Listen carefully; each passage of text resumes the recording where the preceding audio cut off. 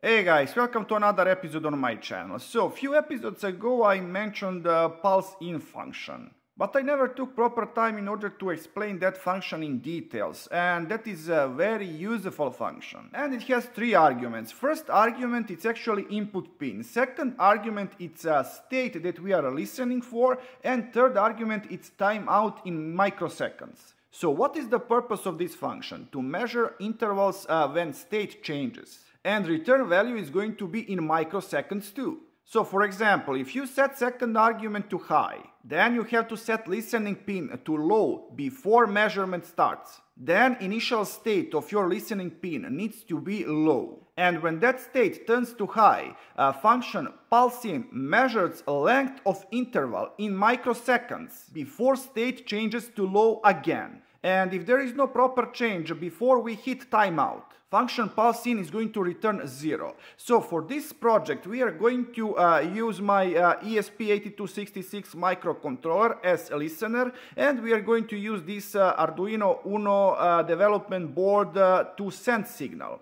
And only thing that we need is uh, these two microcontrollers and these two wires. So first I'm going to connect ground to ground.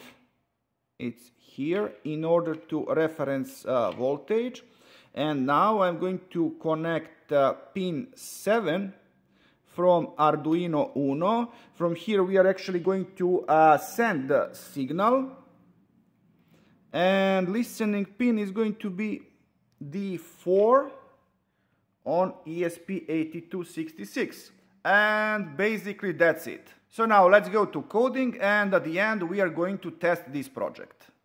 Okay, once again I'm going to use uh, Visual Studio Code uh, for this solution and of course you are free to use any IDE that you like. And I've created these two projects, test and send signal. Send signal is of course going to uh, be code for uh, sending signal and uh, test we are going to install on uh, ESP8266 in order to read for incoming signal. Okay, and so now in this document we are doing send signal so we are dealing with Arduino Uno microcontroller. As I said, we are going to use pin 7 as trigger and we need uh, one long variable interval I'm going to set it to 1000 so 1 millisecond then I'm going to set pin mode for trigger to output because we are going to send signal using this pin. And now first thing that I'm going to do I'm going to do digital write. And for pin trigger I'm going to set it to low. Then I'm going to make delay of 5 milliseconds, meaning uh, 5000 uh, microseconds. Uh, and now, after that, digital write again to pin trigger and now high. So why we are doing this? We are uh, setting initial value uh, for uh, reading pin to low. And then when we turn our trigger to high, we are going to wait.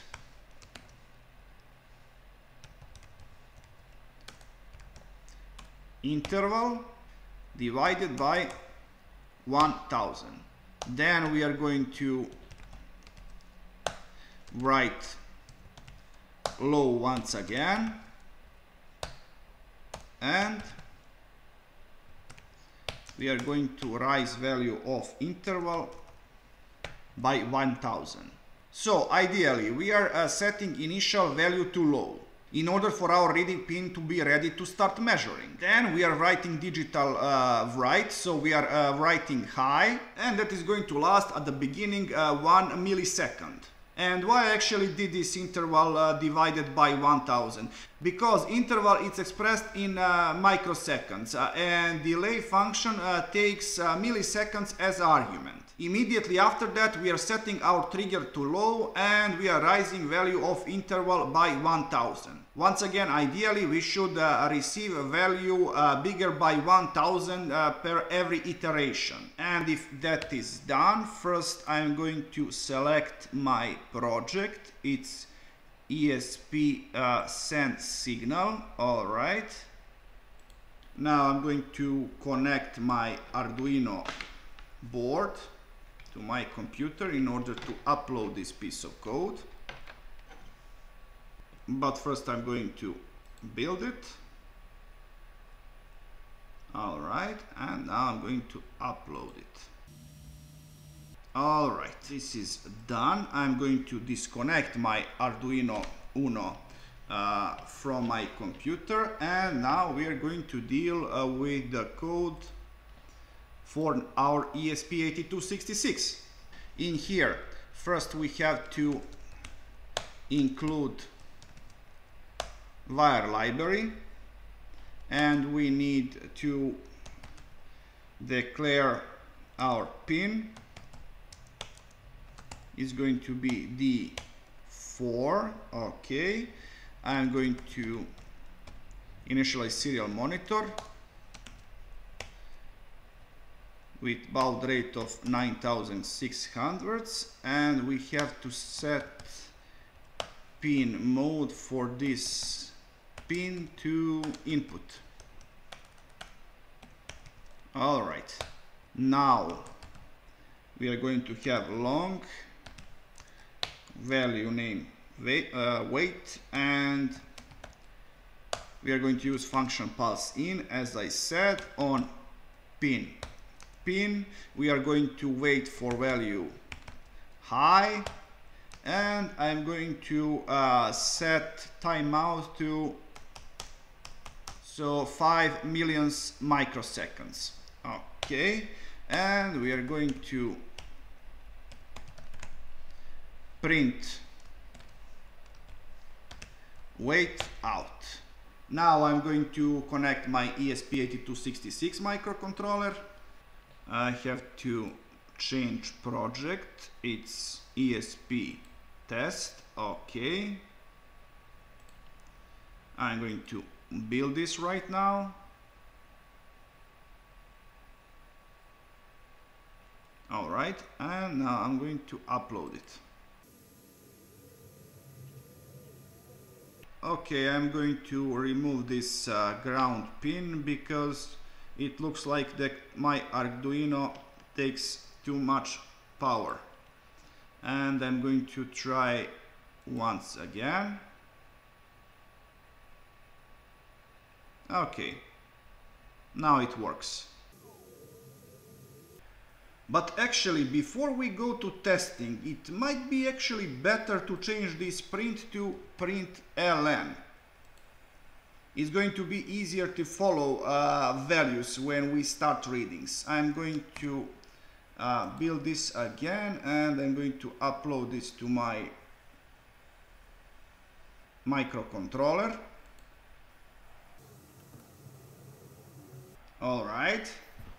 Now you should be able to see my microcontrollers too. My ESP8266 it's uh, connected, uh, but Arduino Uno has no power uh, at this moment. So what I'm going to do first, I'm going to start my uh, serial monitor for ESP8266. Okay, we are receiving nothing, but we should start seeing zeros. Okay, so we are going to receive zeros, uh, meaning one zero per uh, every five seconds.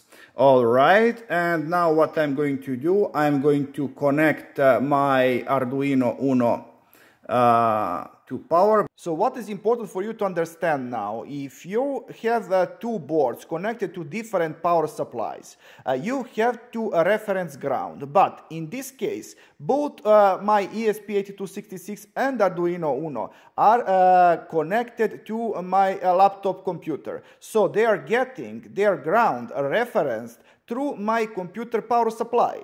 Therefore, additional connecting ground between uh, these two uh, microcontrollers is absolutely not necessary, but I'm going to do it anyway. Finally, if you look my serial monitor, you are going to see that we are getting uh, values bigger by 1000 per every iteration. So this project ended successfully.